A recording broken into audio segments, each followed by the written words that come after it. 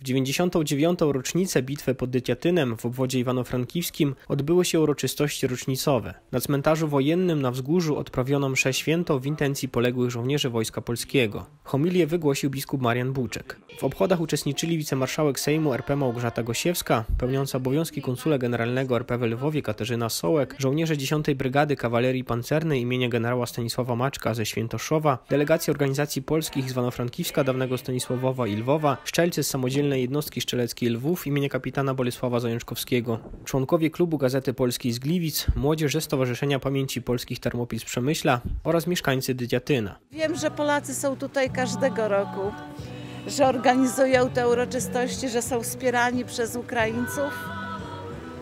No i tak trzeba. Tak trzeba, bo to są takie drobne kroki do pojednania. Dużo jeszcze jest do zrobienia w tym zakresie, ale każdy krok jest cenny. Gospodarzami i organizatorami tegorocznych uroczystości byli m.in. Wiesława Cholik, ojciec Andrzej Wanat, obecny kustosz sanktuarium w Bołszowcach oraz Szymon Hatłas. Patrząc na historię tego miejsca, a szczególnie na ten moment, kiedy zaczęliśmy odnawiać pamięć o Dytiatynie, osiągnęliśmy ogromny sukces i myślę, że dzisiaj będziemy, będziemy mm, bardzo dobrze pamiętać słowa pana pułkownika Wize, który e, wydał rozkaz wszystkim, aby stawić się tu w przyszłym roku z okazji setnej rocznicy bitwy pod Dytiatynem i w tak godny sposób i najlepiej jak potrafimy upamiętnić tę bitwę. Uroczystościom towarzyszył koncert zespołu młodzieżowego z Centrum Kulturalno-Oświatowego imienia Karoliny Lanskorońskiej w Nowym Rozdole pod kierownictwem Mirosławy Tomeckiej.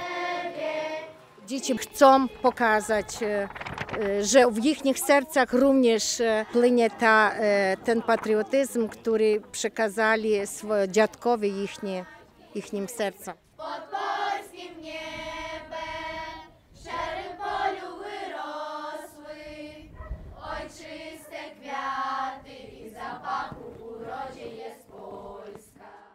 Na zakończenie uroczystości złożono wieńce. Bitwa pod Dyciatynem była jednym z miejsc losowania szczątków do umieszczenia w grobie nieznanego żołnierza w Warszawie. Została też uwieczniona na jednej z płyt grobu.